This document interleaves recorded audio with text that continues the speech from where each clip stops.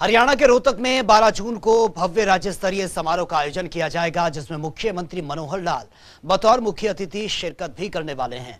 वहीं कार्यक्रमों की तैयारियाँ पूरी कर ली गई। ये कार्यक्रम सुबह 10 बजे से शुरू होगा।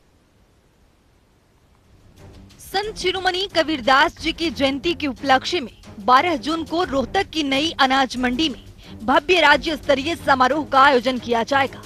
जिसमें मुख्यमंत्री मनोहर लाल मुख्य अतिथि के तौर पर शिरकत करेंगे। इस समारोह के प्रति लोगों में काफ़ी उत्साह नज़र आ रहा है और लोगों को कार्यक्रम के लिए निमंत्रण भी दिया जा रहा है। सामाजिक और धार्मिक संस्थाओं समेत सभी समुदायों से आह्वान है कि वे संत शिरोमणि कबीरदास जी की जयंती के उपलक्ष्य में आयोजित किए जा रहे हैं। इस समारोह में अपनी भागीदारी सुनिश्चित करें। वहीं ये कार्यक्रम सुबह 10 बजे, वहीं ये कार्यक्रम सुबह 10 बजे से शुरू होगा। कार्यक्रम को लेकर सभी तैयारियाँ पूरी कर ली गई है। मुख्यमंत्री मनोहर लाल ने कहा कि संत महात्मा किसी समुदाय विशेष के नहीं, बल्कि समस्त समाज के लिए पथ प्रदर्शक होते हैं। संत कबीर जी की वाणी जीवन में आगे बढ़ाने की राह दिखलाती है। कबीर साहब जी ने दुनिया को मानवता और प्रेम का संदेश दिया। उनका दिखाया मार्ग हर पीढ़ी को भाईचारे और सद्भावना के साथ आगे बढ़ाने के लिए प्रेरित करता रहेगा। इस कार्यक्रम को लेकर प्रशासन की ओर से सभी आवश्यक प्रबंध किए गए हैं। संतों के बैठने के लिए भी सभी व्यवस्थाएँ पूरी कर ली गई। है इस समारोह में आने वाले लोगों के लिए लंगर और जलपान की भी व्यवस्था की गई है।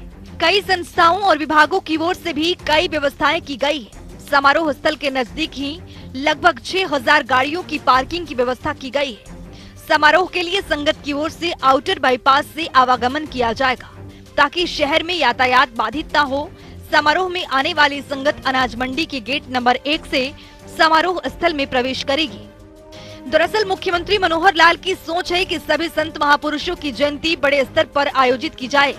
इसी सोच को आगे बढ़ाते हुए प्रदेश सरकार की ओर से संत महापुरुष विचार सम्मान एवं प्रसार योजना की शुरुआत की गई है। इसके ज़रिए महान विभूतियों की शिक्षाएँ पूरे समाज में फैलाई जा रही है, ताकि संत कबीर दास जी के अलावा महर्षि कश्यप महर्षि वाल्मीकि डॉक्टर भीमराव अंबेडकर और गुरु रविदास जी की जयंती को भी राज्य स्तर पर मनाया जाता है। Bureau report, Janta TV.